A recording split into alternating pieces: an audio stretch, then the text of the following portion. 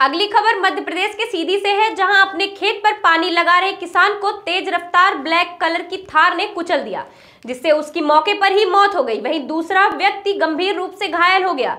उसे इलाज के लिए सामुदायिक स्वास्थ्य केंद्र रामपुर नैकिल ले गए हैं, जहाँ से उसे रीवा संजय गांधी मेडिकल कॉलेज के लिए रेफर कर दिया है। हरिशंकर शुक्ला, निवासी ग्राम तितरा शुक्लान का रहने वाला था। गाँव झांझ में ही सड़क के किनारे वह झोपड़ी बनाकर खेत में पानी लगा रहा था।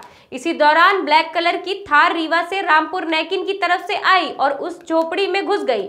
हरिशंकर शुक्ला की मौके पर ही मौत हो गई तो वहीं एक व्यक्ति गंभीर रूप से घायल हो गया है, जिसका नाम अभी तक पता नहीं चल पाया है। घटना मंगलवार देर रात करीब 11 बजे की बताई जा रही है। एक्सीडेंट करने के बाद ड्राइवर कूद कर वहाँ से फरार हो गया। वही मौके पर 108 व डायल 100 नंबर वाहन ने पहुंचकर पूरी जाँच की।